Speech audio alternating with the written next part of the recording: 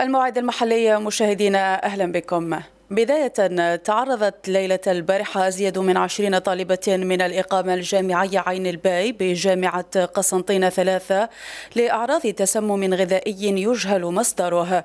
هذا ونقلت مصالح الحماية المدنية حوالي العشرين طالبة نحو المستشفى من أجل تلقي الفحوصات اللازمة كما قامت العيادة على مستوى الإقامة الجامعية بفتح عدد أو بفحص عدد من الطالبات. لمراسلات زميلاتنا بالإقامة الجامعية عين الباي عشرة التابعة لمديرية الخدمات الجامعية قسنطينة عين الباي. بجامعة قسنطينة ثلاثة فقد تم تسجيل غذائي أصاب طالبات الإقامة. حسب المقيمات فإن التسمم يعود لتناول وجبة الهمبرجر في وجبة العشاء. احتمال ويرجح أن مادتي المايونيز أو اللحم قد تكون السبب في هذا التسمم. يجدر الإشارة أن الإقامة مخصصة لطالبات المدرسة الوطنية المتعددة التقنيات والمدرسة العليا للبيوتكنولوجيا والمدرسة العليا للمحاسبة بقسنطينة آه، إذا فإنه قد تم تسجيل كحصيلة أولية حوالي 200 طالبة مصابة بهذا التسمم الغذائي. آه، وإن مدراء المدارس آه، العليا التي تم ذكرها سابقا فقد تم تم حلولهم بالإقامة للإشراف على إسعاف الطالبات اللائي أصبن بعدة أعراض منها القيء والألم في البطن وحتى الغثيان والإغماء.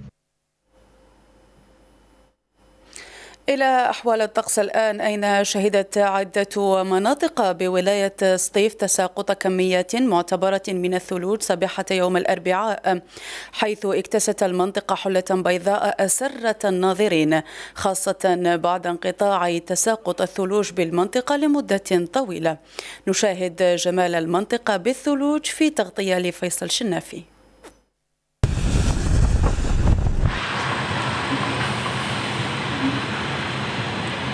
آه، منطقة تاع مقرز طريق تاع البطحة آه، بالنسبة للثلوج راهي نعمة إن شاء الله سنة ورانا مع الموسم تاع الفلاح هذا إن شاء الله بربي راه فيها خير كبير. عام خير. وعام خير إن شاء الله. ورانا نشوفوا في هذا الواد الصغير هذا عنده مدة ما ما بانش. السنة بربي إن شاء الله راه فيه خير كبير وباين. وهذه يسميوها منطقة تاع عين كبس. ورانا مع الطريق الدخلة تاع عين عباسة. يبارك راهي ثلوج وهذه الساعة في اللحظة هذه راهي يصب الثلج. ورانا في نعمة إن شاء الله. الطريق راهي مليحه السما راهي مليحه لاباس والثلج الله يبارك راهو يصب. وهذه عندها بزاف ما صبش هكذا الله يبارك. وربي يبقى يستر ربي رانا في راكم معنا في ولايه سطيف آه، بالضبط آه، جبل مقرس والله أجواء آه، جد رائعة. الحمد لله. يا ربي رزقنا بهذه النعمة. عندها عندنا عندها مدة مدة وما صبتش هكذا. خيرات كبيره نحمد ربي ونشكروا على النعمة هذه. وأجواء جد خيالية. والله اللي ما عايش الجو هذا مش راح يزيد يعيش ومرحبا بكم عندنا في سطيف احتضنت ولاية عين الدفلة الطبعة السادسة للملتقى التحسيسي حول داء السكري بالمركز الثقافي الإسلامي محمد باي. الملتقى عقد تحضيرا لشهر رمضان تحت شعار تغذية متوازنة لصيام آمن. أين تخلل الملتقى مداخلات ومحاضرات ونصائح من دكاترة وأطباء مختصين في المجال؟ التغطية لمحمد والي. شهر رمضان المبارك.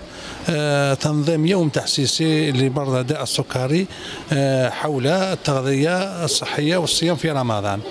ولهذا الأساس اخترنا لهذه السنة عنوان تحت شعار آه، تغذية متوازنة للصيام آمن يوم تحسيسي توعوي تربوي اللي نديروه كل عام من 2007 هنا في ولاية عين دفلة. وين نجيبوا المصابين داء السكر ونجيبوا العائلة تاعهم اللي مازال ما جاهم مرضى السكر باش نعطيو لهم إرشادات. آه، الأولى نقولوا لهم كيفاه آه، الإنسان كيف يصوم وباش يصوم يعني بصحة جيدة الإنسان العادي بلي لازم ينقص السكريات السكريات السريعة قبل رمضان وثاني في شهر رمضان. السكري عنده مرض مزمن كيف يتع... كيف يكون الصيام تاعهم في رمضان؟ وش هو الحكم تاعهم من الناحيه الشرعيه إنه الحكم تاعهم هادو مرضى السكري عندهم مرض مزمن إنه ما لازمش يصوموا. تحضيرا لاستقبال شهر رمضان الفضيل افتتحت السلطات المحلية بولاية تامن راست سوقا تضامنيا جواريا بساحة أسيهار. الفضاء يوفر كل المواد الواسعة الاستهلاك وبأسعار تنافسية ترضي المواطن. التقرير ليوسف العايب. ضمانا لوفرة المواد الواسعة الاستهلاك وبأسعار في متناول المواطن خلال شهر رمضان. افتتحت السلطات المحلية بولاية تامنراست سوقا جواريا بساحة أسيهار تحضيرا لاستقبال الشهر الفضيل. دور الكاميرا على الأسعار. هنا الحمص رانا عندنا 36000 كاين بلاصة الحق حتى ل 50000 الروز 14 مفور حنا كنا نش... أنا في حد ذاتي شريته عند المحلات إلى 25 30000 جار مقايضة آه نبادر ونضع بصمتنا للمشاركة بهذا المعرض الخاص بسوق الرحمة. آه لذا آه قمنا بإحضار فاكهة الأناناس آه وهو منتوج أجنبي. حاولنا أن نقرب المنتوج إلى المواطن. فتح الأسواق الجوارية. يعني راهي أمر دأبت عليه الوزارة. ككل سنة يعني تحضير لشهر رمضان. سوق الرحمة بأسهار يوفر كل المواد الواسعة الاستهلاك بأسعار مقننة تكون في متناول الجميع طيلة شهر رمضان. تطرقنا إلى فتح سوق الرحمة من أجل تخفيضات شهر رمضان التي سوف تساهم في المواطن في دخل المواطن الضعيف لاقتناء قوت يومه. ظروف هذا النوع من الأسواق التي لها تأثير كبير على المواطن لأن في وقت رانا فيه غلاء الأسعار. الفضاءات التضامنية الجوارية المماثلة سيتم تخصيصها للبيع وعرض مختلف المنتوجات بأسعار تنافسية ترضي المواطن. تنمويا الآن يناشد سكان مشتت تغرتين ومشتت ذراع البز ببلدية تيمغاد ولاية باتنا السلطات الولائية لإيجاد حلول للمشاكل التي يعانون منها باعتبار المنطقة لا تتوفر على أساسيات الحياة.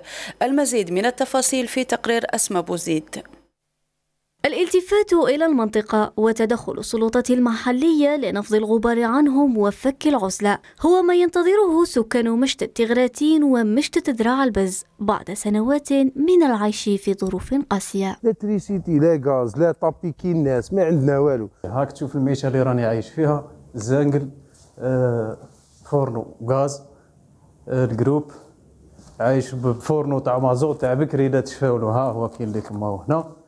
الزانقل الريفي ما كانش أنا في سبع سنين هنا عايش ميزيرية. طالب القاطنون هنا بمشاريع تنموية من شأنها أن تخلصهم من معاناة طالما أفقدتهم الأمل في مواصلة العيش في المشتت هنا لعدم توفرها على أبسط ضروريات العيش الكريم. راسلنا السلطات المعنية مديرية الطاقة بالقائمة الإسمية لهذا المواطنين التي لم تشملهم الدراسة. قمنا بتسجيل عملية لإنجاز بئر إرتوازي ولكن للأسف آه هذا البئر الإرتوازي آه مياهه آه يعني خرجت مالحة جدا وتم غلق العملية للأسف الشديد. بالنسبة للغاز تم استفادة مواطنين فقط من مشتى ذراع البز بغاز البروبان بقيت له الربط بالشبكة الخارجية الشبكة الخارجية الملف على مستوى المراقب المالي من أجل التأشيرة. أمام وضعيتهم المزرية يأمل السكان هنا بالتدخل العاجل والعمل على تحسين ظروفهم المعيشية من خلال استفادة المنطقة من برامج تنموية. أصبح بالقاسم من ولاية سيدي بالعباس أسيرا لكرسي متحرك والسبب حادث مرور حول حياته إلى جحيم. التفاصيل في تقرير محمد أمين عزوز. حافلة نقل المسافرين تتسبب في تحويل حياة بالقاسم إلى كابوس. فلم يعرف منذ ذلك الوقت طعما للحياة بعد أن أصبح أسير كرسي متحرك. أنا راني في في عشر سنين من اللي وقع لي الحادث والسبب دخلت انايا تحت الطيوطه باش نكونتروليها. ندير ليها الصيانه ولت عليا طيوطة و... وضربتني للسرسور قعدت من بعدها قعدت نعاني نعاني من السطر من ذيك. أكثر من عشر سنوات عانى فيها الرجل من صعوبة في الحركة إلى أن توقف تماما لتتواصل معاناته الصحية ومعها الظروف الاجتماعية. بعد الحمد لله اللي شفت العلاج لقينا الأول العملية في الصين. طلبوا لنا واحد المليار ونص و... وعاود من بعدها كي شفت المبلغ ما تلايمش بالخف شتنا ثانيك في الأردن. ثانيك الأردن كانوا عاطينا نسبة النجاح مليحه العملية الزوجة نديرها ودوك راني نحتاج المبلغ والمبلغ هذا آه، يلحق 500 مليون. العملية هذه إن شاء الله لا ربي كتاب وعاونوني المحسنين ووقفوا معايا. إن شاء الله باغي نديرها في الترك. وعطاوني أمل مليح. شهرين نجي نتمشى ولو بالمريك زاد. هذا خونا بالقاسم ونتمنوا إن شاء الله محسنين يعاونوا يساعدوه باش يدير عمليه ويوقف على كرعيه مضى وقت طويل وبالقاسم وعائلته ينتظرون الفرج خاصة وأنه رب أسرة وهو معيلها الوحيد. بهذا نصل وإياكم إلى نهاية الأخبار المحلية لنهار اليوم. شكرا لكم والسلام عليكم.